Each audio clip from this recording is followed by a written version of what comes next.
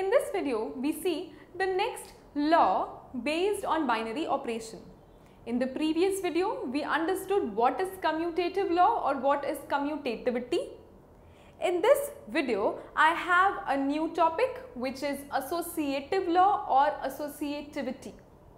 Let's see what is associativity and let's see some example to understand it in more detail. Let's read it together. Associative law is what? A binary operation star on set S is said to be associative if what happens? If A star B star C is again equal to the same thing A star B star C only what is the difference? The order is different. In the first case you solve A star B first because it has a bracket and whatever result you obtain you then operate it with C. But in the later part in the second side you solve B star C first whatever result is obtained you treat it with A and these all AB belong to the set S. That means the order is very much important. If you take 1 and 2 first and then the third element things may change to something else. Let's see some examples as to when the things would be associative and when these would not be associative. So, I have plus again positive addition on n on natural numbers and I have to check whether the addition operation on natural numbers is associative or not. Let's see what will be the case. I have A, B, C again and these all belong to natural number by far. Suppose A is equal to 1, B is equal to 2, C is equal to 3. Different elements can have different values. I am just taking to explain it a simpler example for the sake of it. Now, left hand side is what? It is A star B star C. You have to treat the first two first, right? Now, that means what? We have addition operation. Addition means you just have to take the plus of it. So, the plus of A star B is what? It is A plus B because it is a bracket you have to solve it first. Bracket gets removed later but first we have star as it is. Understood that what we are doing is we are basically solving the bracket part first.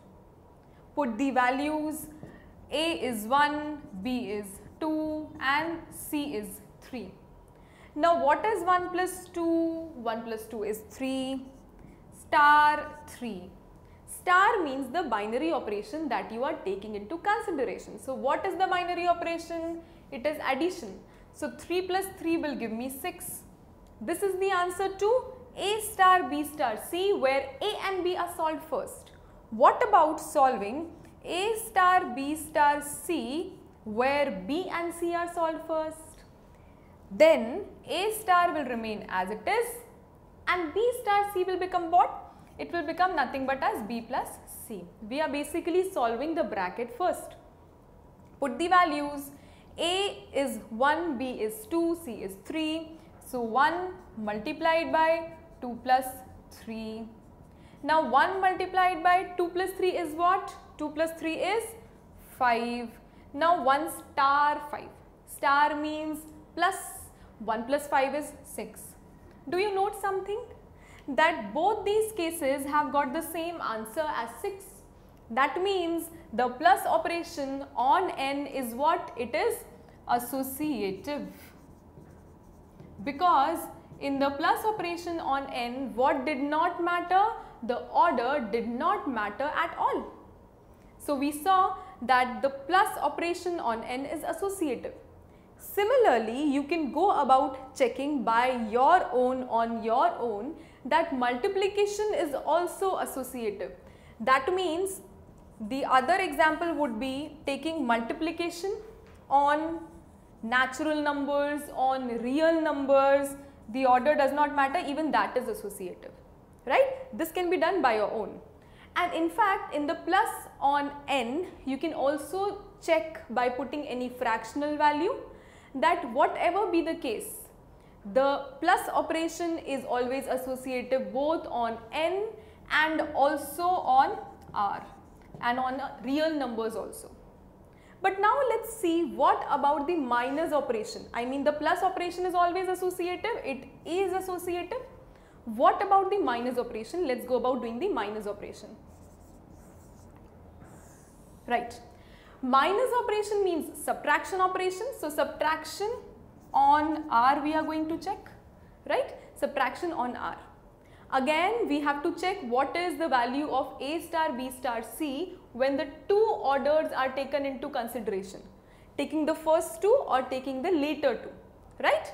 Suppose we have A is equal to 2, B is equal to 3, C is equal to 5.